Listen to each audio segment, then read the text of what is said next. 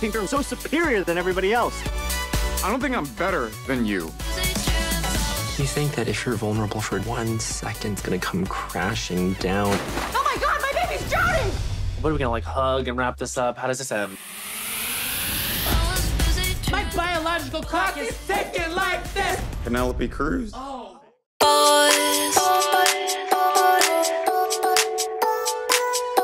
Do you think LGBTQ representation differs between now and when you were growing up? Oh, so it really differs because there was no representation. Um, I mean, we were practically invisible. And whenever we would appear, it would be either to um, be the butt of a joke or something really derogatory. You know, I think um, even our presence in in a very nuanced way as well is such a gift. Like it's so new to me, um, and I think that it's really important to continue in this in this way of like showing these stories because they're really really valuable. But yeah, we didn't have anything like this when I was growing up at all.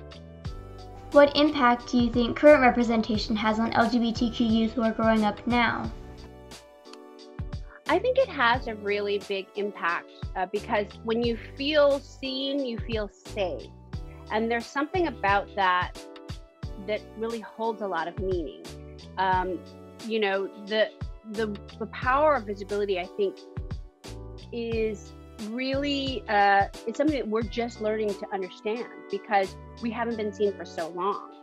And um, as Asian Americans here, like our invisibility throughout sort of like the American history has been just the one constant of our identity. It's just the fact that we we weren't there to be seen, but we have been here. We've been here since 1849, and a big part of America. Yet, for whatever reason, uh, that's sort of been lost. And so now we can construct that, and not only that, we can construct it through a queer lens, which is even more important because um, being queer and Asian is to be the the most invisible amongst the invisible. Like we're like, you know, always told like I think in a lot of Asian cultures that queer people don't exist, and that's really the the the worst kind of punishment to feel like we're not seen even among the unseen.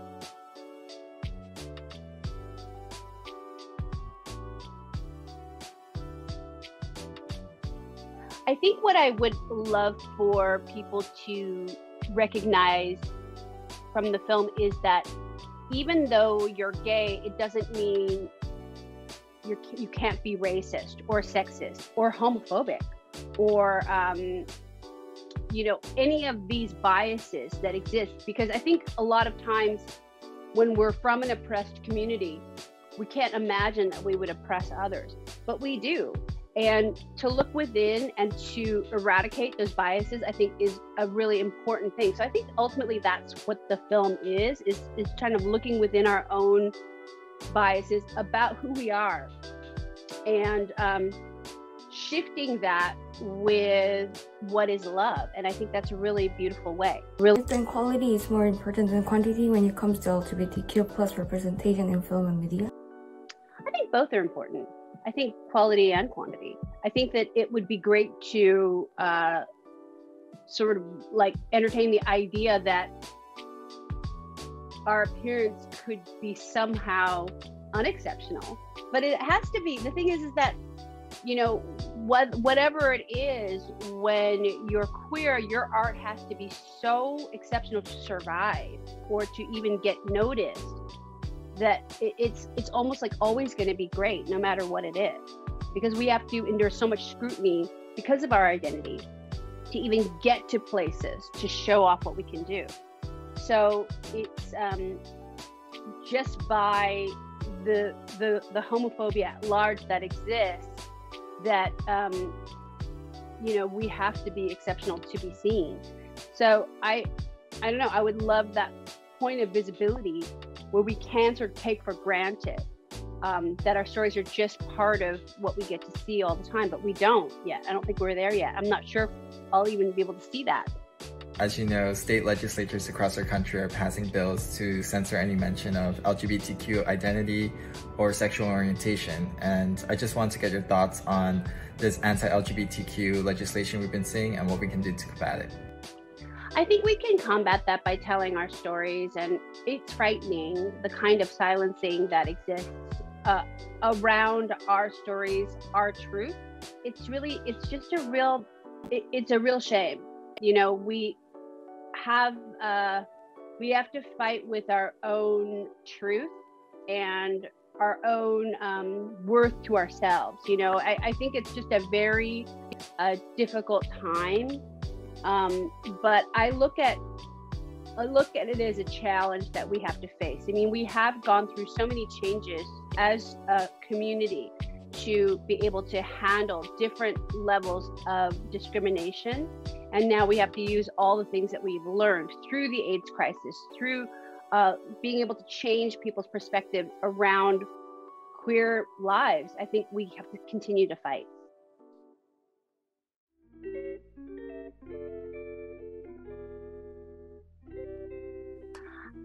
That uh, there's a lot of similarities between Erin and myself. And I, I think that also, you know, she just um, is different in that she has sort of a different path path in life and she's quite she's quite burned a lot of her bridges with her friends and so now it's like kind of almost forced to be friends with a lot of younger people that she can kind of control the relationship a little bit more which i think is not really my story. Um, but I think one of the things that's true is that when you're gay, you're gay forever. And so you're gay with the same people forever.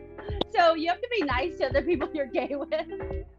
You can't just be gay in um, isolation. You have to be gay in a group. And so there's like a lot of things that she's done that are really, um, really hard. That's sort of the consequences that she's sort of living now. And um, for me, like I, I totally understand that. Like I've had uh, bad relationships, and then some of those wounds don't heal. Um, some fights I've had with women since like 2003 are still going on, you know, and it's almost 20 years later. So it's a really interesting thing about how, um, you know, when we're in our communities, we have to be respectful of our own communities while we're alive in them and while we're going on with them, because it's a, you know, it's a long road to hoe. Uh, speaking from personal experience, I feel like a lot of LGBTQ individuals have a mentor to help guide them through life's challenges and uh, navigating our identity. And I just want to ask you, why is this role so important within the LGBTQ community especially? I think you always need a mentor because you need to be able to figure out how you're going to do this, you know, and, and in queer culture, a lot of times we're um, sort of not necessarily as close with our biological families. And so we need to seek family outside of that. And, you know, Queer Mentor can really show you how to navigate a non queer world. And it's a life saving position to be in, to be in that sort of gay elder place. And a lot of times, I think, too, we're limited for choices and a lot of gay men who would be elders now died during the AIDS crisis. And so we're missing a rung, like a ladder in our society where we have to sort of overreach to, to fill the gaps, um, to figure out like where are we going to get that elder wisdom from. And so I think it's a really mentoring, um, being an elder in the gay community, those things are really, really important.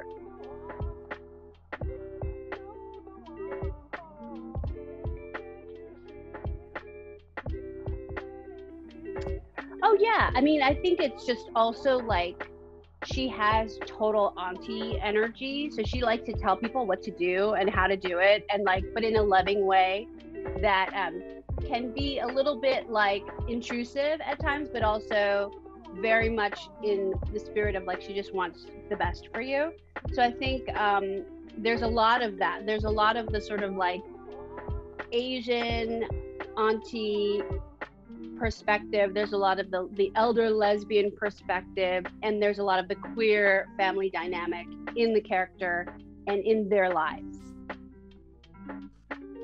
If you could give your younger self any advice regarding the experience of building a career in the entertainment industry as a minority, what would that advice be?